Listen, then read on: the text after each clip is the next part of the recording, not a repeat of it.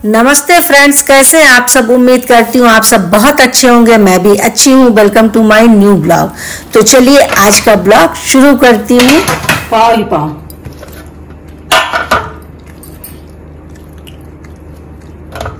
तो इस तरह से अगर आपको लादी पाव बनाना है तो आप पूरे ब्लॉग को देखें। देखिए, कितना अच्छा टेक्सचर है ये देखिए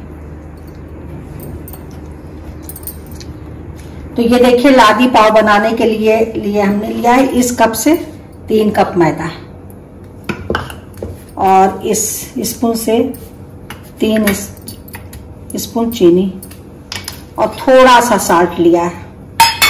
और ये देखिए, इसी स्पून से हमने तीन चम्मच ईस्ट लिया है। ठीक है?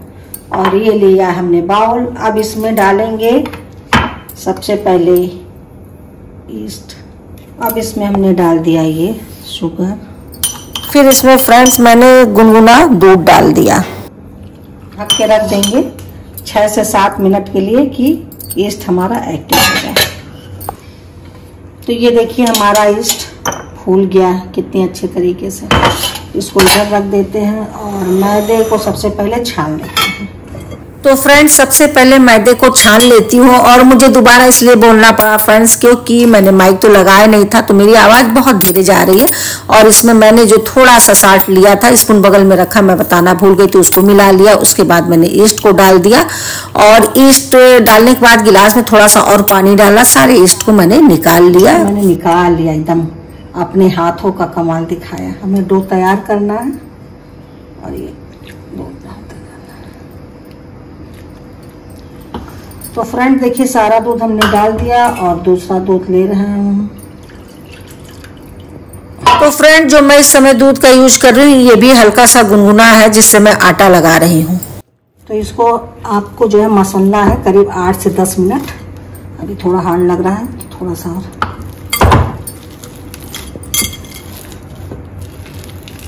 इतने में करीब पौने दो कप दूध लग गया हमारा। फिर थोड़ा सा हमने बटर ले लिया। फ्रेंड यही सबसे ज़रूरी स्टेप है। फिर मैंने इसमें बटर लगा के मसलना शुरू किया और करीब 15 से 20 मिनट लगा। यहीं पे थोड़ा मेहनत लगता है। और आप देखते जाइए मैं किस तरह से इसको मसल रही हूँ और लास्ट में भी किस तरह से देखिए इसको मैंने किस तरह से फोल्ड किया और रख दिया। ऊपर से बटर लगा के इसको रख दिया। इसको ढक के। फिर फ्रेंड्स देखिए मैंने इसको इस तरह से ढक के किचन के ही प्लेटफॉर्म पे रख दिया। और देखिए एक घंटे बाद ये कितना बढ़िया सा फूला है। आटा कितनी अच्छी तरीके से फूल के। रेडी हो गया है। तो इसको जो है निकाल लेते हैं पहले।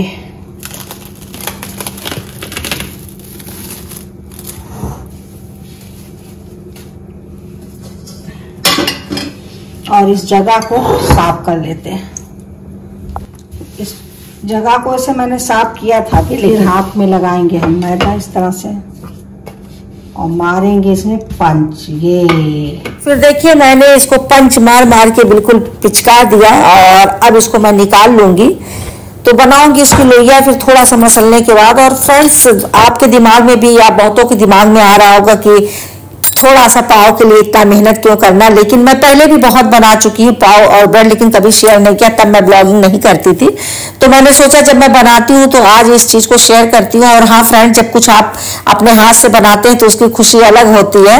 और लोहिया मेरी थोड़ी सी छोटी बड़ी हो गई है, क्योंकि बराबर तो बनाती नहीं हूँ। तो कुछ लोही मुझे छोटी लग रही, कुछ बड़ी, चलिए कोई बात नहीं, मैं बराबर कर लेती हूँ। फिर इस मोल्ड में मैंने लगा लिया बटर और मेरे पास स्क्वायर में मोल्ड है, लेकिन वो छोटा है, क्योंकि मैं केक वगैरह बनाती हूँ तो मोल्ड तो मेरे पास बहुत है, लेकिन स्क्वायर वाला जो छोटा और मेरी, मेरा मतलब जो जितना डो लगा उसमें आएगा नहीं तो मैंने ये राउंड वाला निकाल लिया। तो इसको देखिए मैंने, मैं किस तरह से इसमें लोई बना के रख रही हूँ सेम इसी तरह से आप बनाते जाइए और रखते जाइए। फिर इस तरह से करिए। सब ऐसे पीछे की तरह। देखिए हम एकदम कायदे से दिखा रहे हैं आप सभी को। इसको सील कर दीजिए। फ्रेंड्स नेक्स्ट ब्लॉग मेरा जाएगा वड़ा पाव का और मैंने पाव इसीलिए बनाया है तो आप सब कमेंट करके ज़रूर बताइएगा कि मेरा ये पाव कैसा बना है और किस किस ने घर पे बनाया है तो ज़रूर मुझे कमेंट करके बताइएगा। हमने बना के रख लिया मेरा एक में नहीं आटा तो ये तो मैंने दो बर्तन रख लिया अब इसको मैं ढक के रख दूँगी इस तरह से और इसको मैं रख दे रही हूँ यहाँ।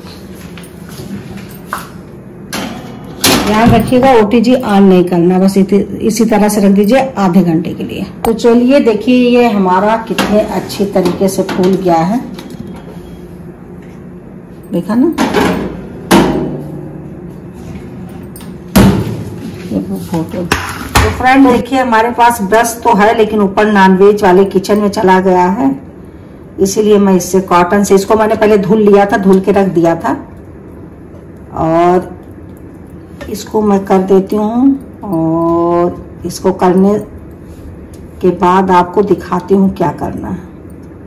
फिर फ्रेंड्स मैंने ओटीजी को 180 डिग्री टेम्परेचर पे इसको प्री हीट किया 10 मिनट के लिए।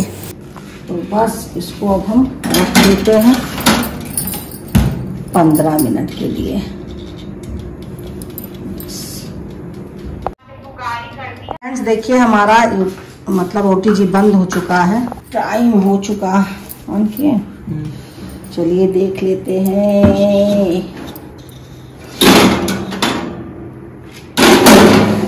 ये देखिए।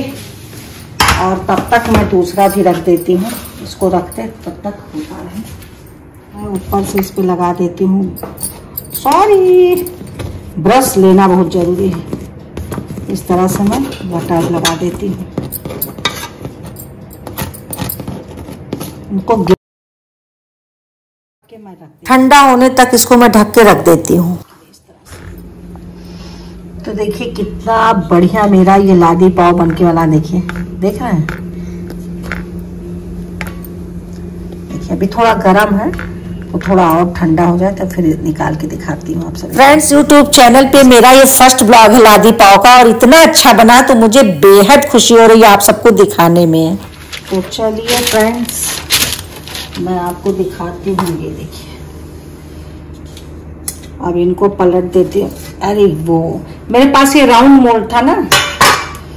तो ये देखिए, स्पंजी देखिए कितना ज़्यादा बना है। देख रहे हैं? ये देखिए। अच्छे से। थोड़ा सा अगर स्क्वायर में होता मोल्ड तो छोटा पड़ रहा था ना, इसलिए हम इसमें डाल दिए थे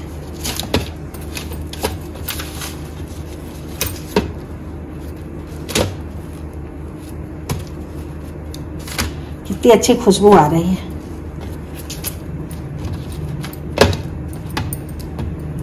देखिए। देख रहे जाली काट के दिखाते हैं।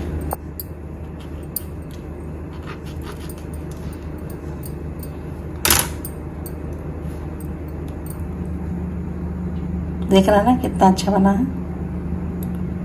और खा के बताते हैं।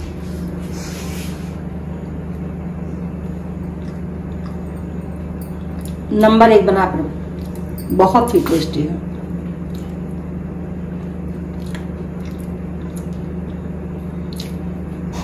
होप करती हूँ फ्रेंड्स आप सभी को ये मेरा ब्लॉग पसंद आया होगा। अगर पसंद आया है तो मेरे चैनल को लाइक शेयर सब्सक्राइब ज़रूर करें। और अब आप सभी को मैं मिलूँगी एक नए ब्लॉग में, नए कंटेंट के साथ। तब तक के लिए बाय बाय